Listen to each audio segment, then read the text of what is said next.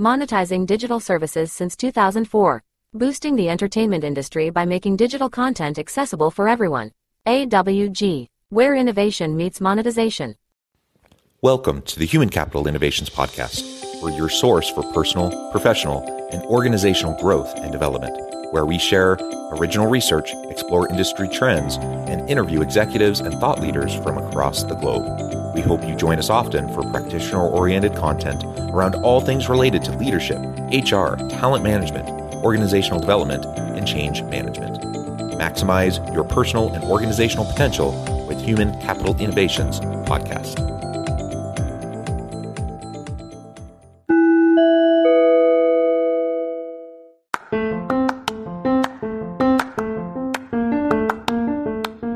You enjoy the Human Capital Innovations podcast?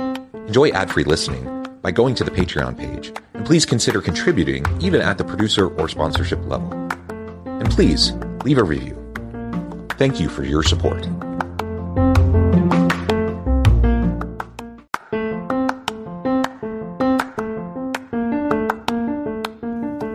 Welcome to the Human Capital Innovations Podcast. In this HCI podcast episode, I talk with Alex Vergara about why decentralized decision making is so important in organizations today.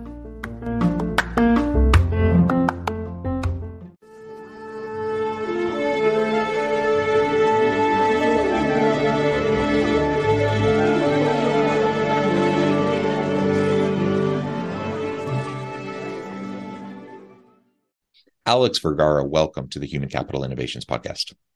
Thank you. Thank you for having me, John. I'm excited. Yeah, it's a pleasure to be with you. You're joining us from Miami, Florida. I'm south of Salt Lake City in Utah. And today we're going to be talking about why decentralized decision making is so important and how we can create the decentralized uh, organization of the future uh, that I think more and more younger people are are desiring as they get into the workforce. As we get started, I just wanted to share Alex's brief bio with everybody. Alex Vergara is community lead and founding member at Earth Fund, the decentralized platform for a better tomorrow. And I would love to hear Alex a little bit more about Earth Fund, uh, but also is there anything else about yourself, your background, your personal context that you would like to share with the audience before we dive on in? Um, I, I, think the story of how we founded Earth Fund is pretty interesting, um, but maybe maybe we can pick that up a little bit later. Um, but just really briefly, um, the idea started in a garage, and I feel like most good ideas start in garages, right? Uh, me and uh, his name's Adam Bolt. He's uh, another founding member. Uh, started going into the rabbit hole of decentralized finance and uh, decentralized decision making, and we just we realized the power um, for crowdfunding and organization within the decentralized world, and that's that's how we got the project started. So there's when we talk about decentralization you know there's different kinds of ways that that term is used. You were just talking about decentralized finance. Um, there's there's all the, the talk around blockchain and cryptocurrencies and some of those sorts of things uh, that's one kind of branch of this whole general topic of decentralization. Um, but we're also going to be talking about it in terms of decentralized decision making within organizations because uh, you know in a in a very complex messy world where things the landscape's shifting quickly um you know there's there's not all the stability that may have been a bit of a facade in the past but at least people felt like there's a sense of kind of some consistency some predictability and now you know we're just like everything's changing so rapidly we have to figure out uh, how to to pivot uh, quickly and it's pretty much impossible uh, to pivot quickly in a in a healthy, meaningful, sustainable way when you have a, a, a, a centralized hierarchical organizational structure. yeah, that's how traditionally most organizations have been structured. Uh, and so, in, in, certainly in recent decades, there's been some shift away from that. But over the last three years, you know, with the pandemic and the reactions around the world, with you know global geopolitical and and the, the global economy, uh, organizations have had to wrestle with how, how can we decentralize decision making how do we how can we provide more autonomy get get decision making pushed down to lower levels uh, so that people can be empowered to be proactive and pivot rapidly and iter- iterate and and uh, and move quickly all of that's really challenging so we're going to dive into that a little bit more yeah so i mean you you mentioned a lot about the decision making and you know we can get into some examples on how our company has um, benefited from rapid decision making from a decentralized standpoint. Um, and and also, you know, when you look at the younger crowd, like you were saying, people are actually looking for remote jobs. That's what they want. They want to be able to live in the middle of nowhere if they decide to, or move to to whatever city they want on, on a whim's notice. And with that, they're also looking for more autonomy within their companies. You know, there there's kind of this pushback with Gen Z and millennials that they they don't want to be managed. And I know I know that a lot of people listen to that and they're like, wait, that's that's not going to work. But you know, allowing people to do what they do best and, and empowering them has the the potential to be good too. Um, there's a balance to it, but this this new generation is very different than previous in what they're expecting out of work and work life balance. Yeah, yeah, and and so for some people, uh, you know, that means to the extreme extent, like we we want to be 100% remote. I want to be able to just have flexibility to work when, where, how I want, wherever I want. Um, you know, I, I think there is definitely some people asking for that, but the, there's a whole spectrum, right? And there's there's people that do want to be in the office. Uh, there are people that want some sort of variation, hybrid arrangement. There uh, you know, there, I, I, think there's every kind of uh, level of the spectrum of, of, what people want, and and younger people, I think, uh, uh, disproportionately are leaning towards you know the the flexibility uh, side of the spectrum. Uh, but even within that, you know, population group, that that age cohort, there, you know, there's still people that want to be face to face, or they want to do the types of work that really needs to be face to face. So it, it's the, all of this is a really interesting conversation. But I think even regardless of whether we're talking face to face or virtual or hybrid, somewhere in between, um, decentralized decision making can be something that can happen in any form of organization, uh, in any Absolutely. type of work. Uh, so even if you're 100% face to face in a more traditional type of office setting and, and traditional type of organization, you can adopt uh, uh decentralized decision making kind of approaches systems, processes, procedures, uh, culture that will uh, that that can have a lot of benefits for your organization. And then certainly as you go more hybrid and even more remote distributed teams, it almost becomes a necessity at that point that you have to do it that way. Yeah, absolutely. That's a great point, and also it just allows for very quick decision making. You know, uh, mm-hmm. we've we've come across uh, large bureaucracies, whether in government, government or corporations, and we just see they're very slow moving. And yeah, we're living yeah. in times that are very fast moving. And if we can use this software to make sure that we're making um, solid judgments, but but moving quickly and expeditiously, then why, why wouldn't we use it? You know, and I think I think that's why you saw uh, decentralized autonomous organizations grow so much in 2021. Um, there were in the beginning of 2021, there was only 13,000 DAO members, and by the end of it, there were 1.6 million. So you saw this really large dynamic shift, and I'm sure that that you know I'm sure that uh, the growth rate uh, declined a little bit in 2022, but nonetheless, when you look at the demand for for quick decision making uh, using software, it's it's it's there. It's the future. You know, I believe so. Anyways. Yeah, yeah, absolutely. And again, it, it's about just timeliness, right? You need to be able to respond quickly. Uh, it's one of the reasons why sometimes governments or large organizational bureaucracies, higher ed, for example, there are all these different types of organizations that get a bit of a bad rap um, because they're slow moving, you know. And on the one hand, they're I, I, suppose we don't want governments to always be rapidly moving because then you have Correct. social instability. Correct. But on the other hand, like you do need to be able to be responsive. You do need to be able to to uh, to be innovative, and and sometimes that's harder uh, when you have when you're steeped in bureaucracy and when um, you're really slow moving uh, to adapt to the surrounding environment. Um, so all those points are really well taken. I'd love to hear a little bit more about Earth Fund and some of the examples uh, around decentralized decision making that you've seen uh, at Earth Fund uh, along the way of its growth and development?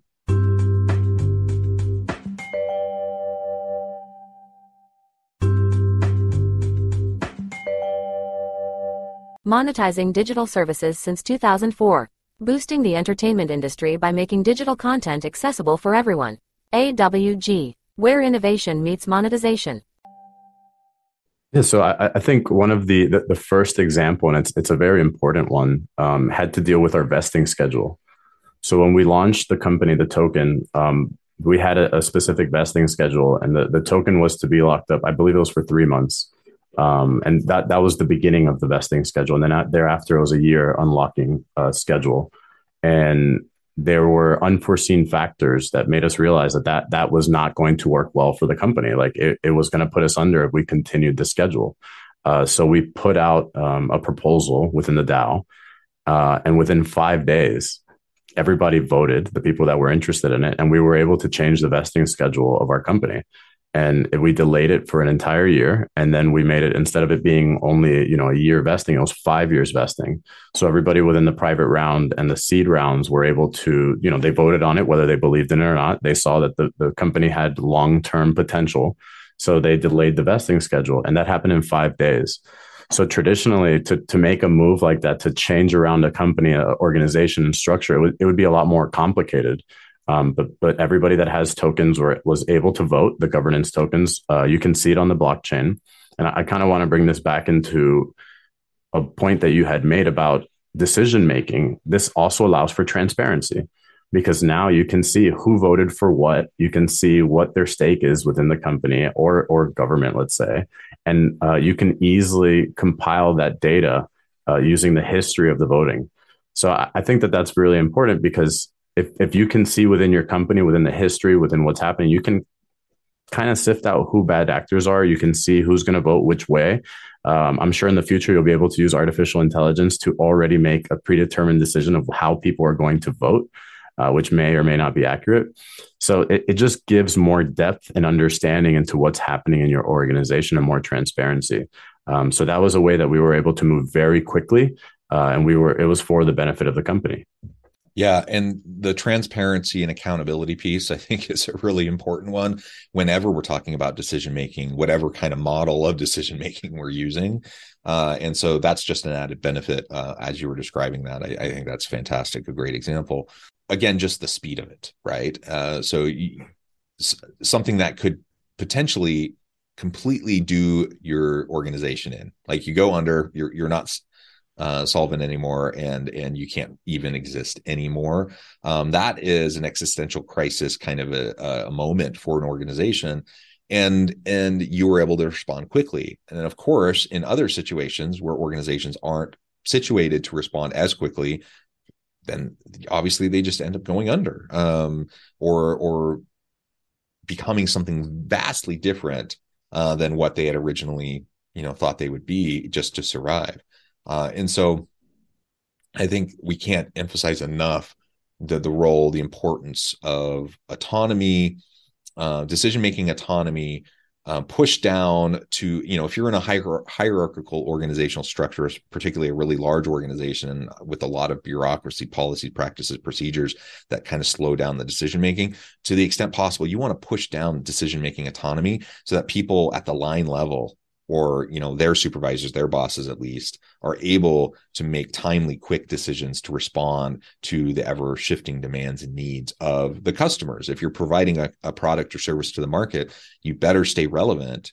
uh, and you better be able to provide something that's of value to the market. Otherwise you're not going to be relevant you're not you're not going to exist anymore. Uh, so pushing that down i think is going to be uh, very important. It already is very, very important. But as we move into the future of work, uh, where the rate and pace of change is only accelerating, uh, where technologies are continuing to push the boundaries of what we can do, right, and what people want, uh, we better be able to respond. Absolutely, and, and it empowers people that may have not felt empowered before. So if they have a sense of ownership, right, it's it's no longer the company; it's our company. Yeah, uh, and, and, we've seen a big change in the past. You know, and let's say in this current generation of people wanting to feel like they belong to something, wanting to feel like they own something, and you know, there, there's that saying that people don't take care of what's not theirs.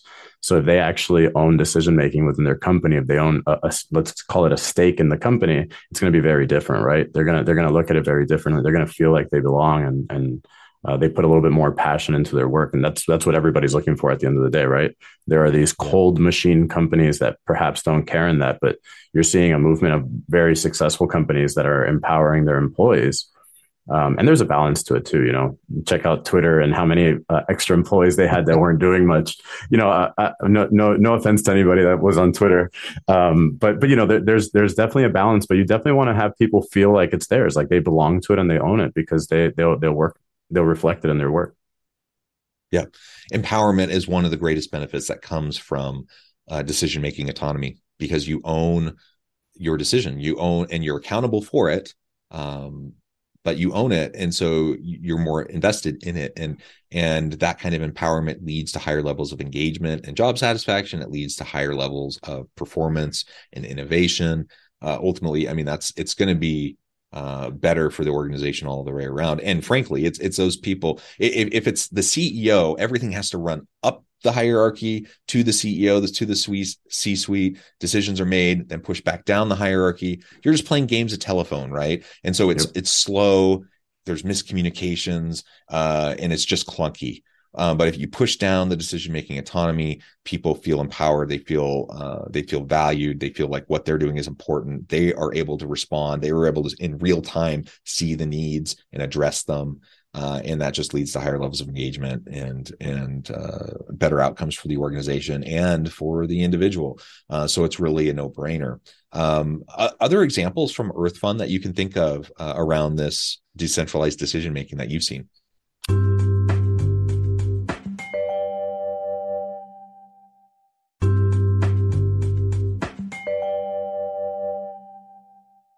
Um, yeah, I mean, we we uh, we came to a crossroad. We, we were looking for more capital, right? So how how could we bring in investors into a token project, especially after this whole you know downfall of FTX and and this uh, strange time for cryptocurrencies? You know, we're to be clear, we're a blockchain software company. We were leveraging a token uh, to build a platform, but you know, we're built. We built technology. We built brand new technology that that we believe is very useful for the future um, for especially for the future of DAOs.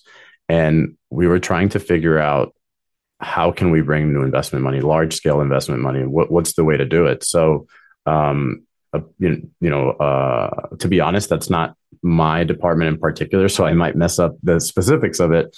But um, basically, what what had to be done, a parent company had to be formed that owned the intellectual property. Um, and in order to do that, the DAO made it had a vote and uh, you know it passed it passed tremendous you know it passed without doubt. But but basically the parent company was formed uh, that would own the intellectual property and the dao would own 20% of that company. Um, so you, you were actually backing the assets with intellectual property and with uh, revenue from from the platform uh, and it, the vote was done in two weeks. So you know we put out the proposal we we put out why we were doing it how it would benefit the DAO, how it would benefit all the users, uh, even even people that that were concerned with governance and what the empowerment of government governance was. And within less than two weeks, the vote was passed, and the company is being formed now. So there's a record of it. It's like again, it's transparent. People know why uh, it was being done. And again, you're restructuring an entire company uh, in two weeks. It's pretty pretty efficient, pretty quick, and again, pretty transparent. So there's there's a lot. I mean, these are just two examples. You can get into smaller DAOs, you can get into larger ones, but these were two significant things for our company in order to survive, in order to thrive. And if, if you take the time of both of them, they were done in less than three weeks combined. So again, talk about company organization and structure. You're able to to make quick changes, make transparent changes, and and have people who are investors, who are workers within the company, uh, who are advisors, actually make the decisions as well. Yeah, I, I think that's fantastic, and obviously, um, there's different different uh, types of organizations different organizational designs. There are different industries and different sectors. There are you know small startups versus scaling businesses larger well established businesses. So all of this you know becomes complex. You know when we start to think there's not a one size fits all approach to how we can go about creating more of a decentralized decision making structure within organizations because of course your individual context within your organization is going to be unique um, and you're going to have to figure it out. But i, I think one thing I, I hope is, is we're hitting home is regardless of your particular context that you'll take some time to think about these things and think about how could you um, decentralized decision making more? How could you push down decision making autonomy to lower levels, to even to line levels uh, with people who are interfacing with the product or interacting with the customers? Uh, how can you make sure um, that these things are happening so that you can make these sorts of timely decisions uh, to respond to market trends, to respond to market forces, uh, you know, whatever. It could be, you know, new technology that emerges um, that you know is challenging your your own very business model. Um, you know, that all the rage uh, the last few days has has been all the talk around chat GPT uh, and how that you know this this open AI chat bot software you know how this could be disrupting things people have been talking about disruption from ai and blockchain and other technologies for a long time um, this is just one example of one that's like super timely. Everyone's talking about it online. Could it change things dramatically? Yeah, it could. You know, and and and we need to be able to respond, and we need to be able to have these conversations, and we need to have the autonomy to be able to make at least key decisions as related to our sphere of influence and responsibility, and then be held accountable for that. Well, Alex, I think we could go on and on, but uh, really, this has been a fun conversation. I really appreciate the opportunity to get a little bit of insight into Earth Fund uh, and some of the ways that Earth Fund has tried to tackle these this decentralized decision making uh, approach and, and process. Um, before we wrap things up for today, I just wanted to give you a chance to share with the audience how they can connect with you, find out more about your work, your team, and then give us a final word on the topic for today. Yeah, absolutely. Thank you. Um, so if anybody would like to, or the people would like to learn more, you go to earthfund.io. Um, it's our platform. Uh, uh, one of our largest partners is Deepak Chopra and the Chopra Foundation, um, and we're, we're creating the tools for for large nonprofits and foundations to create their DAOs uh, to raise funds on an international level. And uh, very soon, we're going to have the opportunity uh, for people that donate crypto to get um, tax write off. So uh, it's pretty exciting. It's never been done before, but we're creating novel software for it. Uh, also, you know, if if if any, I, I, would just say learn about DAOs, learn about the technology. If if you're listening to this and this is new to you, um, spend time on it. You know, people ask me, what do I invest in? Invest time in learning about it when you think about DAOs in itself, in 2021 alone, uh, the treasuries of all DAOs went from 400 million to 16 billion dollars. That was in 2021 alone. I'm sure. I'm sure it's it's shrunk a little bit since then. It's corrected, but nonetheless, this is something that that's here. It's here to stay. It's the future of technology, and and a lot of the next generation is looking forward to iterations of this and the ability to work with DAOs. So, you know, look at our platform, look at earthfund.io. Uh, we, we, we basically typed it up so even grandmothers could use it. So if you have no idea how to use uh, DAOs or what they look like, go on our website. It's, it's super easy to learn about. Um, also, if anybody would like to learn more information about how, what DAOs are and what they look like, uh, my email is alex at earthfund.io. Um, I'd love to answer emails. I'm pretty responsive on it. And, um, yeah, just just learn about it. You know, it, it's pretty crazy. Our company, uh, within a couple hours of launching, we saw a market cap of four hundred million dollars. So you know, definitely it has the potential to to build world changing technology and and be able to crowdsource from from people across the world like we've never seen before. So definitely invest time in learning more. Wonderful, wonderful. Alex, this has been a real pleasure. I encourage my audience to reach out, get connected, find out more about Earth Fund, find out more about what Alex and his team can do for you. And as always, I hope everyone can stay healthy and safe, that you can find meaning and purpose at work each and every day. And I hope you all have a great week.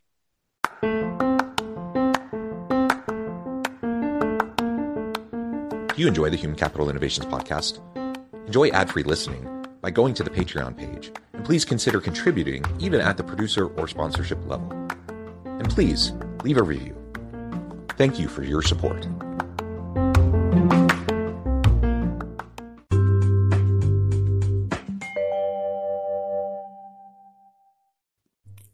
Thanks again for joining us for this episode of the Human Capital Innovations Podcast.